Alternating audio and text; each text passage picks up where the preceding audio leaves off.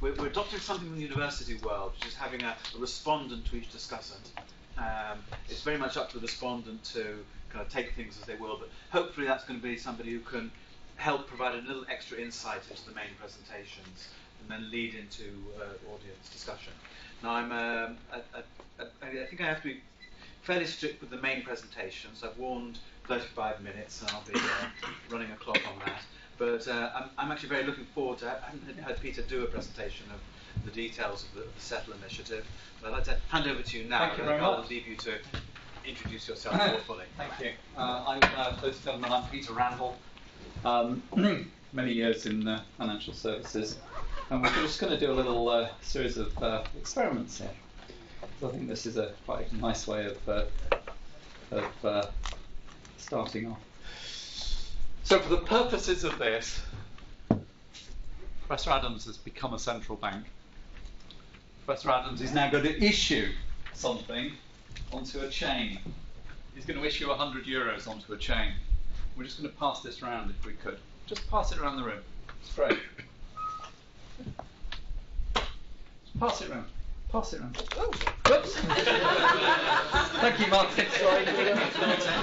Okay. Uh, I've broken the chain. you broke the chain. About once every 10 years in financial services, something large comes along. Um, about once a decade. So in the 70s, it was SWIFT. 1973, SWIFT formed. 1979 was the first US dollar transactions.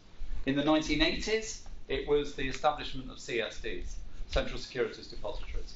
In the 1990s, by and large, it was the era, it was the.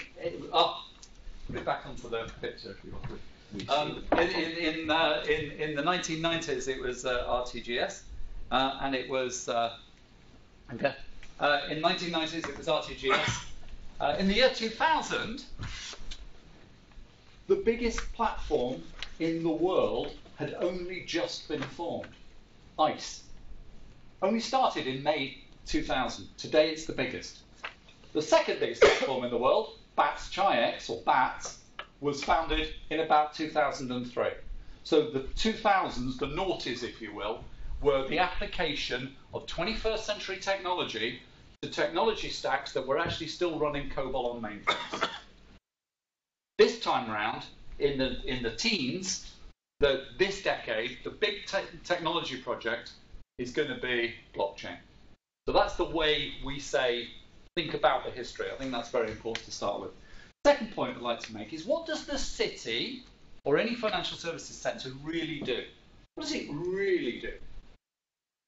Many, many, many things, and it's quite easy to, to point with the program to all sorts of bad things out. But really what it does is it keeps very large lists of ledgers. There's a ledger for cash, there's a ledger for bonds, there's a ledger for derivatives, there's a ledger for FX, there's a ledger for property. All those ledgers are slightly different. They all really record an amount, a quantity, a name, a date, and all the rest of it. But, but what they really are at the end of the day is just a ledger. But they're all slightly different. They've grown up for different historical reasons, but there's an enormous amount of knitting.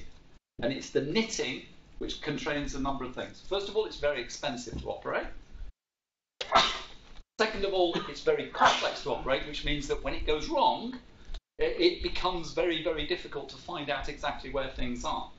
And what I mean by that is that you have to have all sorts of you know complex resolution systems and complex sort of ways of, of, of, of sorting out problems. So that's very difficult. Has that now gone round?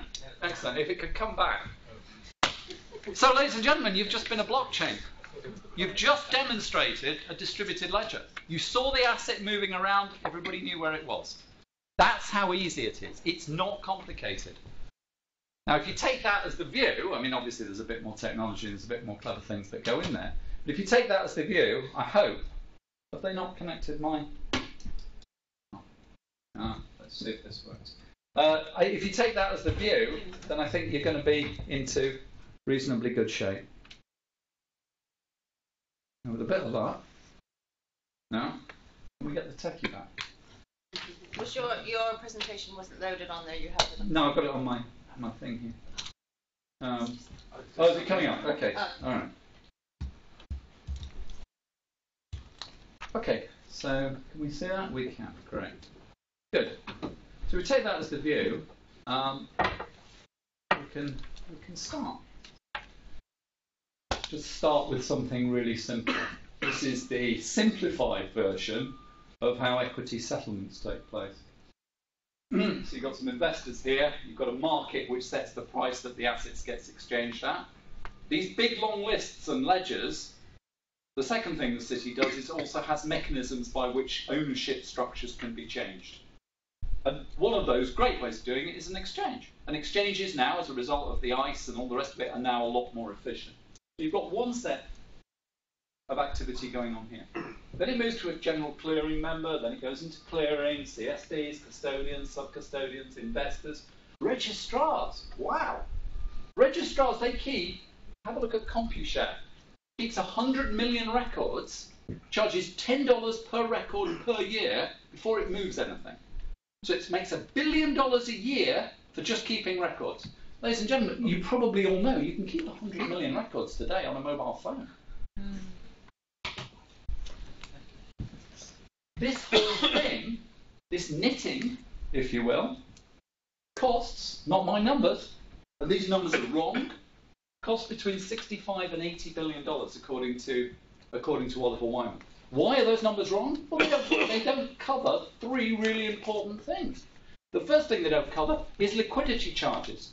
Has anybody ever read the LCH balance sheets or LCH um, uh, uh, uh, report and accounts? They kind of brag about the amount of deposits that they have overnight. Where do those deposits come from? They come from the banks to fund the actual activities. So there's, there's, there's tens of billions of dollars just sitting effectively in overnight systems that are, that are, that are there. Of course, ostensibly to protect against risk. But uh, in, in, reality, that 65, 80 billion doesn't cover that. It doesn't cover the capital charges either against those liquidity players. And instead, it doesn't cover any of the messaging charges. So when you write for Swift, it'd be really interesting to put some uh, put some charges in that uh, Swift uses. Now, when you really have a good think about it, and it, I think it really is uh, incumbent upon people in this space to, to think rather than just uh, talk. When you have some really good thinking about this, you've got to realise that banks, in reality, only do three things. And they'd like to tell you they do a lot more, but it's really only three things. They make a single-sided payment. So I pay you. I'm a bank, I pay you. That's one thing they do, right? Second thing they do is a delivery versus payment. I pay you, you give me some security. Give me a bond or a stock or derivative or something. the third thing they do, quite important, is they do a payment versus payment. I give you some money, you give me some money. Now, PVP, for all intents and purposes, is a foreign exchange transaction. I give you some dollars, you give me some euros. I give you some yen, you give me some sterling. PVP, payment versus payment. DVP, delivery versus payment, SSP, single-sided payment. Solve, therefore, ladies and gentlemen, for P. In fact, rather more than 50% of every single financial market transaction is a payment. So that's a really critical place to start. And banks can only pay each other in a really special way. I'm sure you all know how that happens, but I'll explain just in case people don't. I can pay you, I can pay anybody in this room by actually getting some central bank money out and saying, look, you know, here you go. Peer to peer central bank money exchange. It works really well. That's one way. I can pay you like that, but, you know, HSBC can't pay Barclays like that. Another way I could pay you is by using faster payments. Another way I could go and get some cash out of the cash machine and I could pay you that way. I could write you a check. There are a whole series of ways in which I could pay you. But that's fine because you're perfectly prepared to accept from me into your bank a credit because it's on your bank. Now, what does it mean when it's on your bank? Well, it's effectively you have now got commercial bank money. So anybody that banks with HSBC, you're taking the risk that HSBC is not going to go belly up. That's what you're basically doing. But banks between each other can't take that risk. HSBC is never prepared to sort of say, uh, you know, Barclays phones them up and say, we owe you a million quid, oh, but don't worry, we've opened an account in your name and I'll send a checkbook around. HSBC will say, well, that's all very interesting, thank you very much, but you haven't paid me. because there's only one way that HSBC and Barclays can extinguish the interbank liability, and that way is to make a transfer across a specialist system called an RTGS system, real-time gross settlement service, which is opera or system, which is operated by the central bank. And that is when you hear people dis, you know, make the distinction between central bank money and commercial bank money. Central bank money is the way in which banks can pay each other. And what that basically means is that when, when, when Barclays pays HSBC using a, using a, um, uh, an RTGS transfer, really straightforwardly, what happens is that a million pounds is debited from the Barclays account and a million pounds ends up in the HSBC account. Payment has then been made and it accords with a number of bun- a bunch of things. The most important one is it, it achieves settlement finality. So if at that point Barclays goes bust, the liquidators can't get that money back because it's moved in central bank money. That's really, really important. Settlement finance is right. So, to be of generalized use to the financial services industry, you've got to take the view, I believe, that the place to start is in the ability to be able to move central bank money. Now that sounds like a really difficult thing to do, right? Go on and speak to Mark Carney and say, can, can, can we can we have some money, please, because we'd like to move it around between banks. Sounds really, really, very difficult. But let's just bear with me for the argument, because I'll, I'll show you how I think this can happen. So let's say the first thing to do is to be able to move central bank money, i.e., to allow banks in one jurisdiction with one currency the ability to extinguish interbank liabilities with central bank money. Okay, that's fine. The next one, the really quite exciting one, because it's the biggest market in the world, the FX market, is the ability to have another central bank's money on there. So if you've got sterling on there, for example, and then you get some euros on there, you can now swap euros for sterling. I can give you central bank money, sterling. You can give me central bank money, euros. Effectively, we've effected a transfer of assets. If we can do that on a single ledger structure, things start to get very exciting. So when you've done single bank, a single central bank, double central bank, then you can start to get into to, to, to, to other obligations. The first obligations, I think, is probably easier to get into, are, are fixed income securities, bonds. Corporations issue bonds all the time. Uh, they're very straightforward. They, they're not usually tied up in CSDs. They can be, but they're not always. And, and, and effectively, they're, they're, pretty easy to, to administer. So once they've been issued uh, onto, um, uh, they, they, can, they, can be, they can be moved around very easily. Phase four is a bit more complicated, a little bit more complicated, because this is now in CSD land, and CSD land is, is, is basically uh, equities and uh, securities uh, that uh, have to go through a CSD. It does become a bit more complicated, but I can show you the answer. I'm not going to I spend the rest of the afternoon describing the answer. Mindful of the 35 minutes I've got. Um, and then phase five is, you know, all the other stuff. so, question: How do you get money issued onto the system? On the left here, you've got the existing system. I don't know if you can see around there, Richard. On the left, you've got the existing system. So Bank A here, I would say it's Barclays, and Bank B here is, let's say, is HSBC. The way in which Barclays can pay HSBC is they send a SWIFT message which goes to CHAPS. CHAPS then alters the balance at, uh, uh, at the settlement account at the Bank of England. The message comes back. Bank B now receives the message that it's, it's got the million pounds, and Bank A receives the message it's just had its account debited for a million pounds. That happens about 146, 147,000 times a day, and that moves on average between 450 and 500 billion pounds a day. So that's really moving about a third of UK GDP on a daily basis moves through this system. An order of magnitude, you know. Some days it's less. It's open, uh, you'll be pleased to know, it's open five days a week. Uh, and uh, it runs at the moment for about six hours a day. So the rest of the time, when it's not open, banks just have to keep those liabilities on their books. But the regulators, they're clever, right? You keep the liability on the book. The bank says, well, you know, we're not sure that that bank might not go bust, so you've got to put some capital back. So you've got to keep putting capital into the system to protect against the fact that the Bank of England's central system isn't open. That gets quite expensive. Now, there are another set of ways in which RTGS balances can be changed. And up here, we call them DNS, delayed net settlement. So there's four of them. there are there are more, but, but you know, the diagram just gets messy if you if you add too many. And so you've got link, uh, you've got faster payments, you've got BACS, and you've got check and credit. Check and credit clearing, everybody knows that. Um, it's, it's very straightforward. Link, cash machines. You take 50 quid out of a HSBC machine you've got an account with RBS, they've got to settle that 50 quid between themselves. What they do, in fact, is net it all off, and they settle it once a day when the system's open. BACS, big old batch, COBOL mainframe clearing system that, that, that, that basically pays salaries and does direct credits and stuff like that. Faster payments is really interesting. It clears three times a day during the times that RTGS is open. The most important thing about it is that I can pay Martin now straight away, no problem at all. That's dead easy to do. My bank will be debited, his bank will be credited. Would his bank account will be debited, uh, credited? Mine will be debited effectively in real time. But actually, his bank doesn't settle with my bank. My bank doesn't settle with his bank, except three times a day.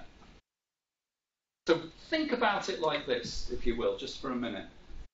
If at five past three on the 24th of December, I sent Martin 100 quid. So, oh, please, you know, give this to my godson or something for his Christmas present.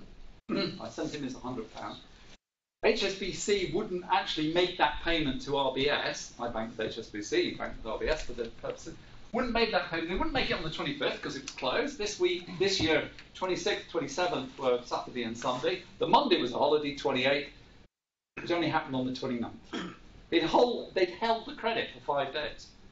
They hadn't settled. Well, okay, you know, my 100 quid's hardly going to break the bank. But, you know, you can think that uh, the, the, the, volume of payments going through faster payments is going through the roof. Uh, at some point, somebody will fail in that, in that environment. It's inevitable. So that's how it works at the moment. Now, what happens if you're called Metro Bank? You're a challenger bank. Guess what? What happens if you're Metro Bank? You have to go to one of the CHAPS members, i.e., one of your direct competitors, and say, could you please alter the balances for me uh, at the Bank of England? So the competitor banks are sort of like, you know, like a, a, a one-legged man at an ass-kicking competition. They're really stuffed because effectively they've got to give up an enormous amount of, uh, of, of, economic return to, to, um, to, to affect their daily flows of business. What happens if you're a, a, customer down here? Well, they have to go to a correspondent bank, which has to make the change. What happens if you're Goldman Sachs? Well, Goldman Sachs is not a member here, so they have to go to, in fact, they go to Barclays. Barclays make the change. They credit or debit the um, correspondent banking relationship of Morgan Stanley, and everything flows through. Charge, charge, charge, charge, charge, charge, charge, charge. Great. Fantastic. All that costs in the region at the moment about 250 million pounds a year. 200 million odd of real cost and about 50 million of notional profit. That's what it costs the banks to operate. But when anybody in this room ever bought a house, you know what a CHAPS payment charge was out at. 25, 30 quid? Actually, the banks themselves pay about 12 pence to do that transfer. So that's the existing system. So we say it's perfectly possible to drop in here a blockchain. Before we drop in a blockchain, let's ask ourselves how we're we going to get money? How are we going to get the assets onto this blockchain? Well, there's a really simple way. Really, really easy. How do you think Barclays at the moment get the million pounds worth of tenners to put in their cash machines? Where does that actually come from? How does it occur? Well, it occurs in a really simple way, effectively slightly. There's a better story and there's a, there's a true story, but I'll tell the better story.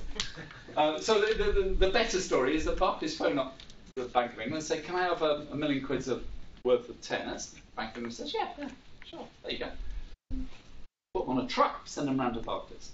When that happens, when the truck leaves Threadneedle Street, Barclays' settlement account at the Bank of England is debited with, you got it, a million pounds. They put it in their cash machine because it's just like you or I going into the bank, taking out cash. It's identical process. So they go in, the account is debited.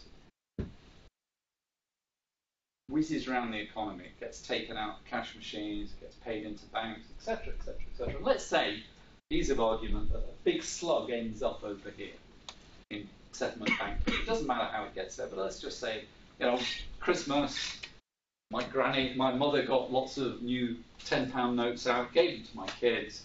That was fine. She took them out from HSBC. My kids took them out on Boxing Day, bought absolute trash, as they always do.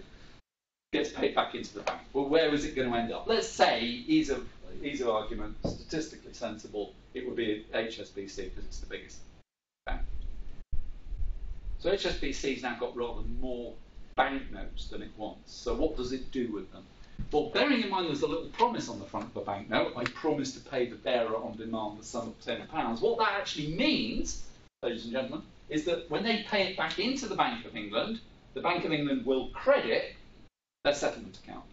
So HSBC take the money in just the same way that anybody like us does, takes it straight back into the bank, says, here's a million quid. The Bank of England say, yeah, that's right, counted it, it's all there, fantastic, we'll credit your account. Really helpful, this banknote thing. So this RTGS system has two functions.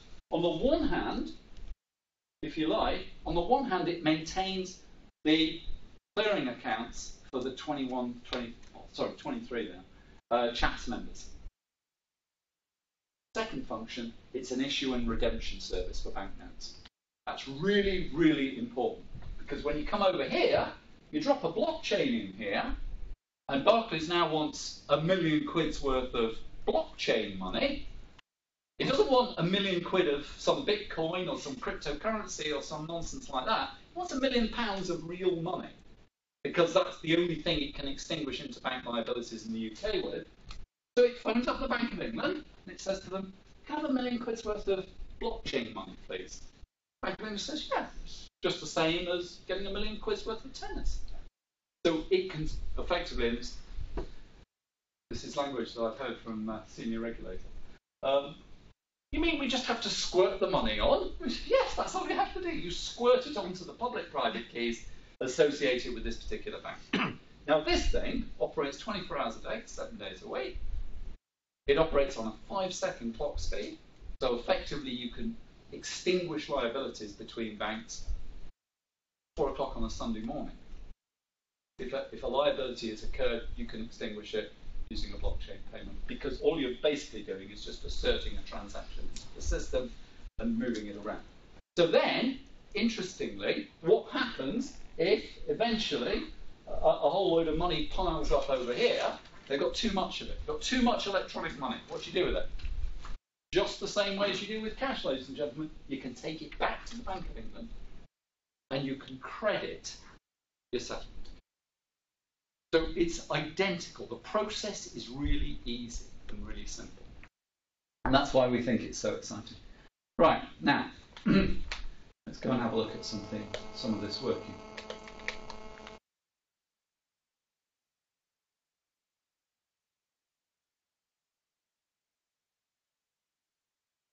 Okay, right.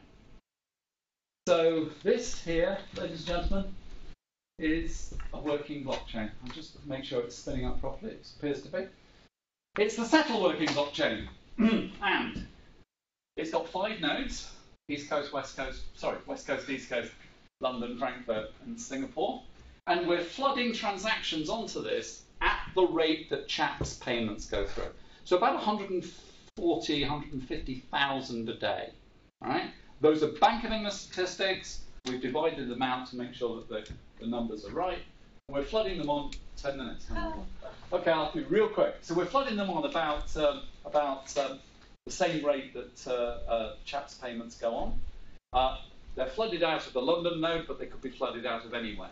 We deliberately set uh, uh, geographical limits on this uh, so that we're showing real world latencies. And these are real servers in real server farms that operate in these centers.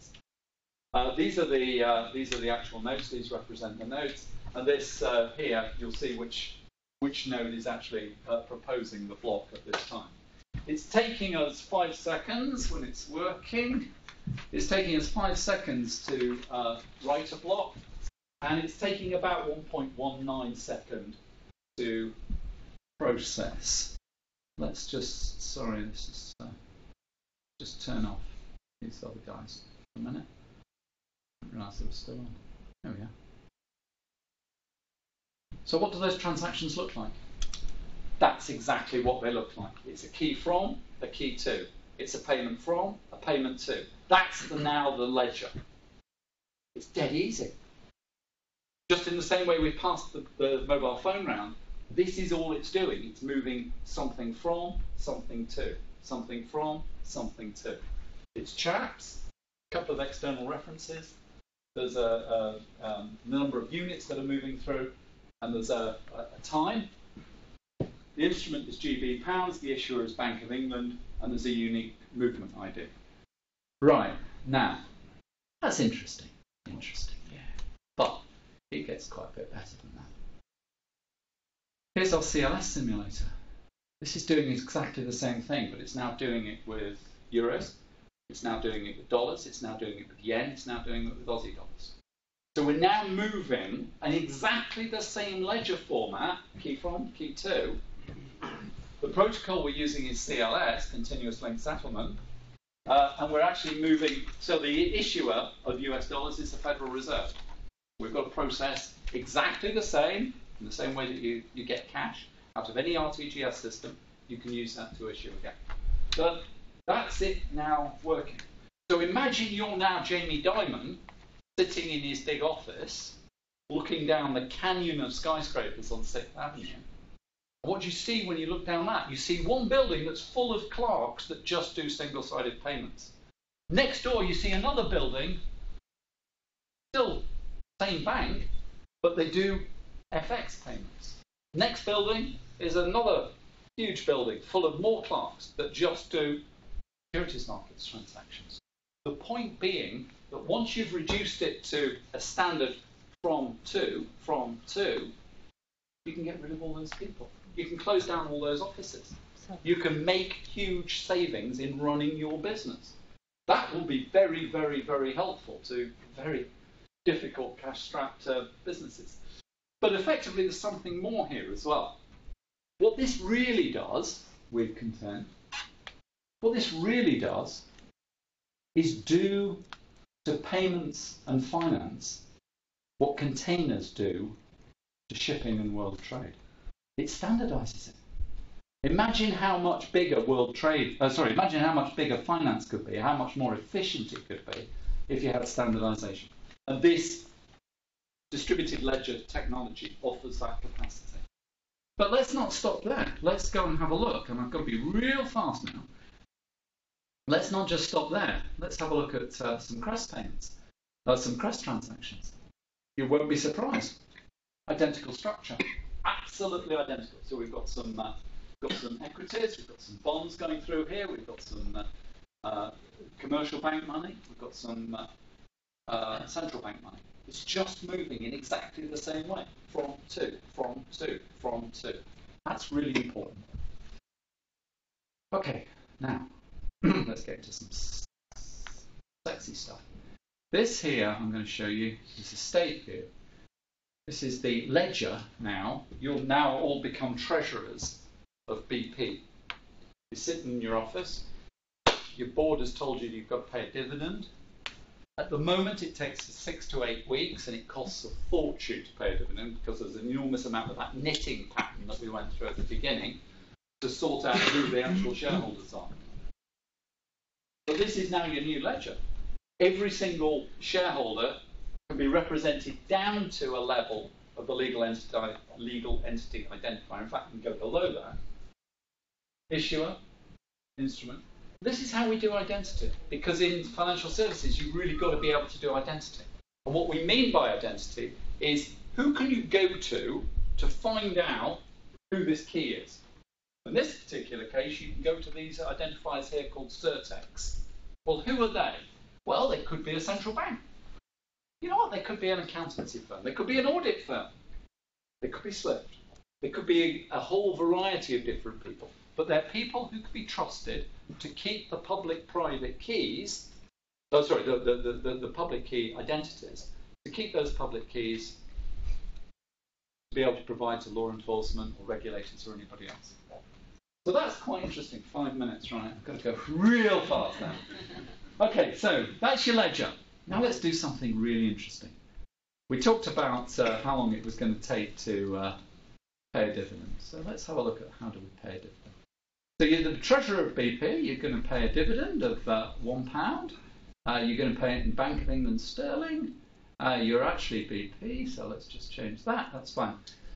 So you've set it all up. The board meeting has just finished, and the chairman's just signed the minutes. You want to pay a dividend. Cost a pound. All right. Commit. This is really cheesy. Are you really sure you want to commit? Are you, you really sure you want to pay your dividends? Yeah, yeah, yeah. I'm the treasurer. Yeah, go on. It'd be reckless. Paid it. Uh, in a minute, also, did you see it flash red then? Yeah, you did. That was it paid. Every single shareholder got paid then. Now, I've got on here as well, I'm perfectly happy to show, show you, but I, I, I want to not go into it in great detail, but we've got a complete suite of what are called smart contracts. So we've got multi-asset clearing, we've got DVP, we've got PVP, we've got single asset clearing, we've got stop loans, we've got all the sorts of standard things that financial markets need and want. Anyway, that's all very interesting. Thank you very much. But there's more. But there's more. So let's have a look now at the overall picture. This is great, Peter. You're doing 146,000 transactions a day. You know, so what? No, I'm not. no, I'm not. Uh, this is effectively settling every delayed net settlement system transaction on a gross basis. This is 34 million transactions a day going through the UK system. That's exactly how many there are at the moment. Taking about 1.24 on a five second spread. So we've still got plenty of capacity. Moves very, very quickly. And you do that by some clever engineering, but you also do it by some thinking about what the actual structure is. So that's great. Now, before I get beaten up by the chairman, uh, I'm just going to show you now something else.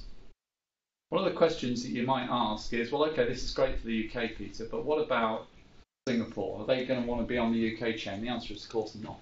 What about the euro? Are you going to put the euro on the same chain? The answer is, of course, not. No. You've got to have individual separated chains.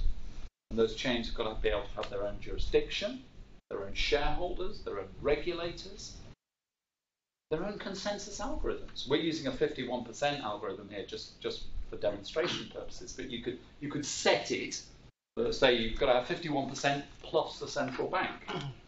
Possible? Yeah, perfectly possible. Etc., etc., etc. Probably in Singapore you'd need 100% plus the central bank. Um, but um, anyway, I didn't say that. Uh, so uh, here you've got, uh, we're going to put everybody on. All right. So this is 15 chains speaking to each other, chain in, chain out, i.e., making transactions move between them. And what does that look like? 1.3 billion transactions a day. Globally, globally, every electronic transaction that takes place uh, is just over a billion at the moment. So it's 30% bigger, and that's only with 15 chains. Could you have n chains? Of course. So this is the power of what it means. And you know the things I hear from from sort of people that talk about you know oh, well you know got to do all these syndicated loan stuff or you've got to do stuff down the ledger and all the rest of it. Forget it. Start with the hard stuff. You know, back in the day when I was at university, my tutor, um, Professor Lord Wedderburn, said to me, Peter, the reason I like you is because you'll always do the hard question. You'll always do the hard essay question. And you know what? Bizarrely enough, you always got more marks for that because you could, you could get it wrong, but if you did the hard question, you could always get more marks. That was easy because everybody else did the, did the easy questions. This is a hard question, but it's not an insoluble one. We think we've got a good, good solution here. It's becoming, um, uh, we're just about to uh, close the funding round. uh, and uh, it's uh, it's truly truly exciting. The commercials behind this are unbelievable. Right, I'll say no more. I'm done. Okay. You happy? Perfect, perfect timing. Yes, thank you. There you go.